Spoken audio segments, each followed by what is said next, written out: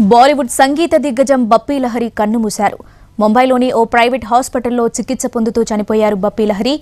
పంతొమ్మిది వందల యాభై రెండు నవంబర్ ఇరవై ఏడున బెంగాల్లోని జల్పాయిగురిలో జన్మించిన బప్పీ లహరి తన తండ్రి దగ్గరే సంగీతం నేర్చుకున్నారు. పంతొమ్మిది వందల డెబ్బై మూడులో నన్హా షికారి అనే సినిమాతో బాలీవుడ్లోకి ప్రవేశించారు. ఎనభై తొంభై దశకాల్లో డిస్కో ఫాస్ట్ బీట్ సాంగ్స్తో బాలీవుడ్ను ఏలారు Bappi Lahiri. Disco dancer rock dancer Giraftaar Ghayal లాంటి సూపర్ హిట్ సినిమాలకు సంగీతం అందించారు.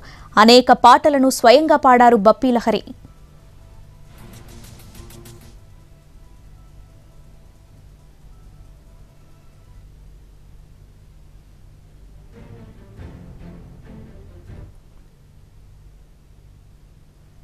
తెలుగులోనూ అనేక సినిమాలకు సంగీతం ఇచ్చారు బప్పీ లహరి.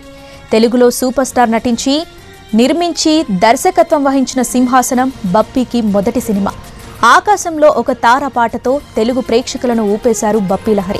తర్వాత Trimurtulu state rowdy gang leader rowdy Alludu rowdy inspector లాంటి సూపర్ హిట్ సినిమాలకు మ్యూజిక్ ఇచ్చారు బప్పీ లహరి.